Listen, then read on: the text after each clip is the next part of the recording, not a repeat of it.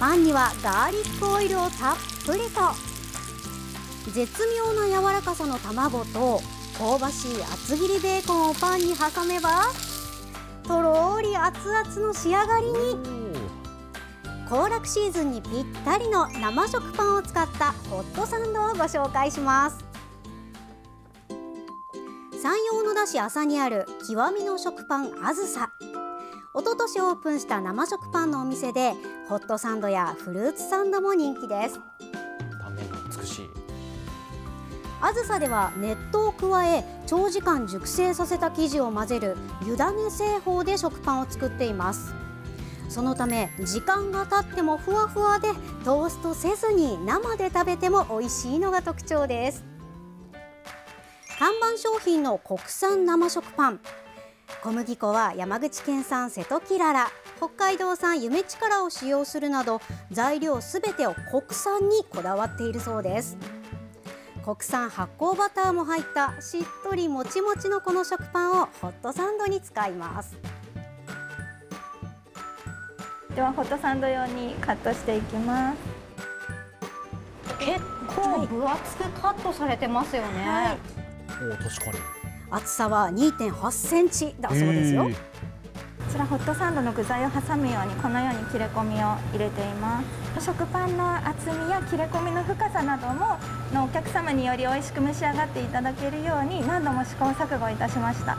そうなんですね、はい。こちらのガーリックオイルを表面に塗っていきますガーリックオイルはい。えどんな風に作られてるんですか？こちらもエクストラバージンオリーブオイルとニンニクをしっかりと煮詰めて手作りしております。へえすりおろしのはいニンニクですね。はい。あすっごいニンニクのいい 香りがしてきましたね、はい、パンを焼いている間に具材を作っていきます。では卵を焼いていきますちょっとこうとろとろとした状態での残して、はい、焼き上げます。あーベーコンの香ばしいいい香りがしてきた。ベーコンも九州の方から取り寄せたとてもジューシーで厚みのあるものを使用しています。3色パンにこんがり美味しそうな焦げ目がつきましたね。これにチリソースをかけていくんですが生のオレンジを煮詰めて加えたオリジナルソースなんだそうですよ。オレンジが入隠し味程度のオレンジなんですけどとても爽やかな香りがしてとても美味しいです。ここにスライスチーズを入れてベーコンと卵を入れていきます。挟んで焼くのではなく後から盛り付けることで卵のとろとろが生きてくるんですね。ピリ辛のチリソースに甘めのマヨネーズソースも加えて、パセリを振りかければホットサンドガーリックベーコン卵の完成です。ビタンさんのレモネードと一緒に外のベンチでいただきます。彩りも綺麗でおしゃれな感じですね。いった。うん。外カリッカリで中はほんわかふんわり。ベーコンのジューシーなうまみそれともふんわりとろりした卵とチーズ。またガーリックの風味ですよ。もうこれがたまんなく食をそそります。